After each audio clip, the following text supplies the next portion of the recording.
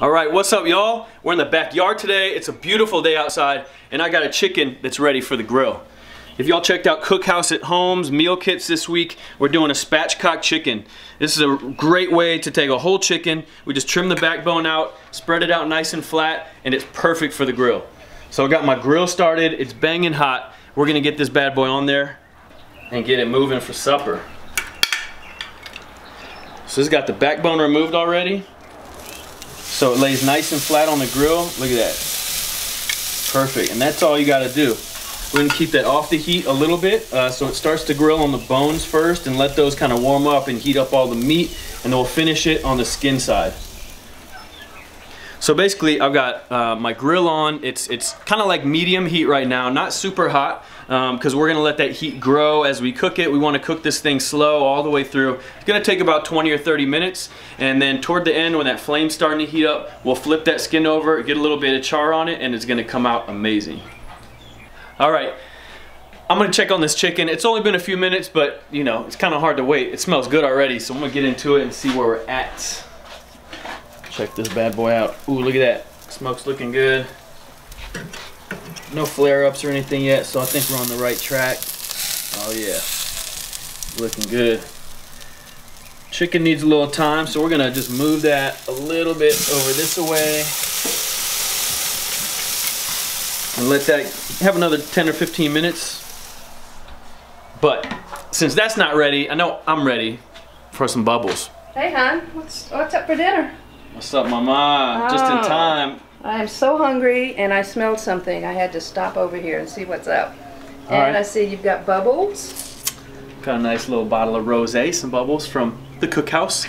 Clavet or Calvet? Looks fabulous. That's the Calvet. Beautiful. All right. Rosé all day, baby. We got the sparkling Ooh. stuff here. So what's on the grill? Cheers. I'm gonna leave mine here. Yeah, cheers. Ching ching. Ching ching. All right. Good timing. We're gonna check on the bird. so I guess you can smell it. I could smell You know, it, moms right. can smell that chicken from like way on the other side of the house. Good time to check him out. Let's see where we're at. Well, I knew this was your latest cookhouse at home meal kit, but yes, I didn't indeed. really know what it meant. Um, spatchcock chicken. Spatchcock. It's super easy. It's really just the cut that wow. we're doing. Look at that. Looking That's good. Beautiful. Huh? So is that the marinade that makes it look so Yeah, we just did a nice little marinade with some Cajun seasoning, a little achiote, some lemon, and some grapefruit. Fantastic. So what is spatchcock chicken? Spatchcock what chicken. It really it's just the cut of the bird, so we cut the backbone out. Like you saw how I just flipped it over a little bit. Basically, I cut the spine out, and uh, it allows you to lay it down flat like this, so you could cook it like in a, in a skillet, um, or you could cook it on the grill like this, and it just cooks more evenly. It cooks faster than if you're doing a whole bird. And instead of having a whole bird in here and doing like a beer can chicken or something, this really allows you to get the, the thighs cooked and the breast cooked and the wings and everything really nice and even. So you if you're going to come home after work and you're really tired but you're dying to have that grilled meat, this is a fast way to do it, right? It I'll do it nice and fast, nice and even. Ooh, fabulous. And you get all that crispy skin. It's like so good. You so can find the, yours. What's the marinade? At home. What kind of marinade? Is that a cookhouse thing, or can you just put whatever you want on it? Or? No, we, so we marinated these ahead of time for the uh, cookhouse at home meal kits. But you can do whatever you want. If you want to do this like barbecue style, you can do a little barbecue season on it. You could do a wet rub. You could do a dry rub. You could do this thing like straight out of the pack with some salt and pepper, and it'll be good to go. So long as you give it a good amount of time on like on the bone side, so it cooks most of the way through with the bones underneath, and it gets all hot that way. And then we just finish it on the skin side to get some some color, and cook that fat out a little bit. Oh my God, it smells so good. It smells crazy good. This goes with just about anything too, right? Yes, indeed. You know, the hardest part of this is just waiting for it to finish. right. Because it smells and looks so good. But if you're looking, it ain't cooking. So, so I'm gonna get that lid closed. So how long does it take to cook? Do you think? It depends. I let my birds sit out at room temperature for like 30 minutes before I start cooking it, so it kind of gets a little bit more even temperature throughout, and you're not throwing a 38 degree chicken on the hot grill. So that's a great technique if you're cooking a big piece of meat or even a steak. If you're gonna put anything on the grill like that, I always try and leave stuff out at room temp for like 30 minutes to an hour before, and you'll get a much more even cook when you go to put it on the grill because the inside's not as cold as when it comes straight out of the fridge. So you marinate it for a couple of hours? Yeah, we marinated something? that since this morning, and so it's probably been about 12 hours uh, on marinade. You Oh could do it for two, three days before if you want. It's just gonna get better and better. But that'll just put some nice flavor in there and get all the way into the bones. Mm, perfect. It's gonna be delicious. Fantastic. Cookhouse at home. Hey. all right, I can smell this chicken from all like three feet away because I can't seem to get much further than that from the grill. Ooh. Can't wait. Let's get into it. See how we're looking. It smells so good, fam. Ooh, look at it. Mmm. All right, I know the bottom's gonna look delicious. That marinade is killing it. Look at it, juicy. All right, we're gonna flip it. You ready? All right, I'm gonna get that right over the heat and start to get some color on that skin. I'm gonna get that a few more minutes. Maybe like 10 minutes if I can hold out that long. I think we can do it. We're about to get this chicken off. It is ready. At least I think so. I'm gonna make sure I got my little thermometer. Got a plate for moving it. Got what I need. Let's check it out. Ooh wee.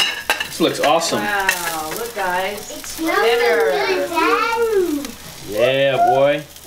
See, those kids can smell it from over there. I'm checking it, Alright. reading 168, 170. I'm checking like the thickest parts of the bird just to make sure. 168 is like perfect. It's gonna keep cooking a few more degrees. We'll probably get it up to just about 175. So, that, that thing's ready to come off. Let's do it. Who's ready for Pick dinner, up. boys? Ooh, wee. Look at that. Let me get that thing out of there and we're gonna put it over here to rest for a minute. Man, this looks awesome. Skin's gonna be nice and crispy. So should it rest when it come out of the grill? Yeah, with any meat, especially a bigger cut, something like this, I'm gonna give that about five minutes to rest. Uh, if you're doing like a big roast or uh, even a steak, anything you want it to be nice and juicy and not dry out, you gotta make sure you give it a few minutes just to hang out uh, at room temperature so that the juices kind of start to stabilize and that it doesn't get uh, dried out. If you cut it right now, all the juice is gonna come out and it's gonna end up being a drier cut of meat. And so we're gonna give this a few minutes to just kind of carry over cook, which is where temperature is gonna go up a few more degrees. It's gonna relax a little bit and then it's gonna be perfect when we get into it. All right, we're gonna get into it. Time to serve this bird up. We are all ready. Everybody's starving because I took so long to cook. At least in their minds, I thought it was pretty quick. But we'll go through cutting this chicken. I know spatchcock chicken's a new thing to a lot of people. Super easy to prepare. You really couldn't do it, uh, a whole bird any easier than this. So now let's see how to cut it. Really easy. You get four quarters out of a chicken. So we've got our breast all up here. We've got one leg with the drumstick on, another one on this side. We've got some clean tongs. I'm just gonna cut through the skin right here. And watch this, that whole leg comes right off. Didn't even have to really cut anything. I'm gonna do the same thing on this side. I got my two legs, I got my two breasts, and my two wings. Um, so that is looking pretty easy if you ask me. We'll take this knife and cut right down the middle. That separates my two breasts with the wings. And I'm just gonna cut this down a little bit more. I'm gonna take the thigh and the drumstick, take that right off. If you follow this, it's kind of tricky, but if you follow the line of where this meat goes right here, that thigh, it'll usually lead you right about to where the joint is. And even for me, it's not always foolproof, but it's a good place to where you can cut right through, and you shouldn't have to cut any bone. I'll try with this one to see if I can get a better shot on the first one. Cut right down through it, and there it is. No bone cut, just right through the, between the bones. Nice and easy cut. We got my two drumsticks, looking delicious. Two thighs, crispy skin. I can hear it just moving around the board. It's like sounding nice and crispy. I'm gonna cut these breasts in half just so I got a little better portions for the kiddos. Now we ready to eat. That's it, man. That chicken looks crazy good. I'm gonna give them a little bit of pasta on the plate. Actually, I'm gonna bring it over there and we'll do it family style. It sounds a little better to me. Throw this pasta up here. Get my tongs. Tongs for the bird. Let's hook it up. Y'all ready? Yes. Yeah!